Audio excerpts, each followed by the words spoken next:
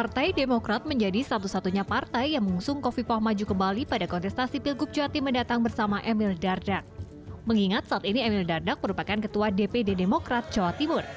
Saat ini selain Demokrat ada tiga partai lain yang mengusung Kofifah. Tiga partai tersebut adalah Golkar, Gerindra, dan PAN. Bahkan beberapa waktu terakhir, meskipun belum resmi PDIP mulai memberikan sinyal untuk mengusung sang petahana dalam Pilgub Jatim mendatang. Meskipun partai-partai ini sepakat untuk mengusung Kofifa, namun mereka belum sepakat tentang siapa yang akan mendampingi Kofifa dalam kontestasi pilkada nanti. Masing-masing partai politik mulai bernegosiasi menawarkan kader-kader terbaiknya, sekalipun hingga saat ini belum ada keputusan akhir. Menanggapi dinamika politik saat ini, Partai Demokrat angkat bicara. Mereka cukup optimis Kofifa akan melanjutkan kepemimpinannya bersama Emil Dardak melihat banyak kemajuan dan pembangunan di Jawa Timur yang baik di masa kepemimpinan Kofifa dan Emil lalu. Namun Partai Demokrat Jatim menyerahkan semua keputusan tersebut kepada Kofifa sembari tetap menjalin komunikasi politik dengan partai koalisi lainnya.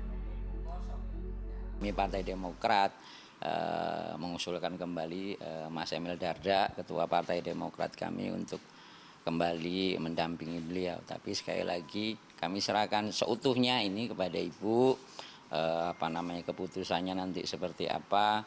Kami hanya beritikat bagaimana kemudian Bu Kofifa melanjutkan eh, apa namanya kepemimpinan di periode kedua ini dengan baik.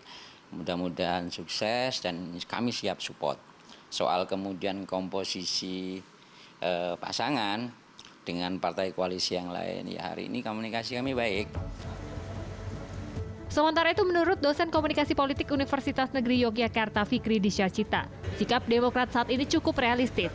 Mengingat perolehan kursi Demokrat di Pileg Jatim 2024 hanya 11 kursi.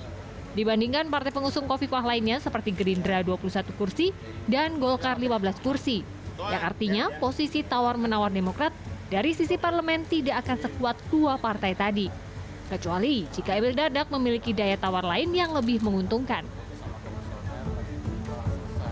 Nah, apakah Demokrat siap untuk kemudian tetap mengajukan paket Kofifah Emil untuk periode kedua, sedangkan di kursi pemerintahan legislatif begitu ya, itu masih dikuasai oleh PDIP dan PKB.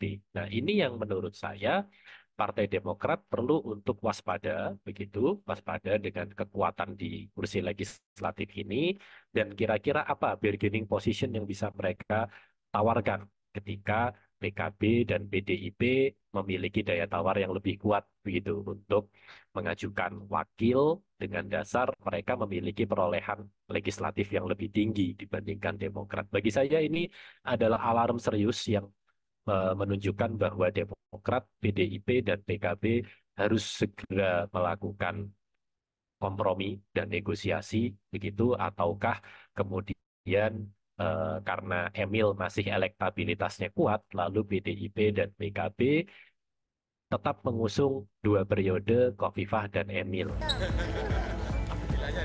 Masih menurut Fikri, saat ini arah tren politik di Jawa Timur menunjukkan sosok Kofifah akan menjadi calon kuat. Apalagi sudah banyak partai besar yang meliriknya. Tawar-menawar politik yang kuat saat ini justru berada pada siapa dan dari partai mana calon wakil gubernur yang akan mendampingi Kofifah Indar Parawansa.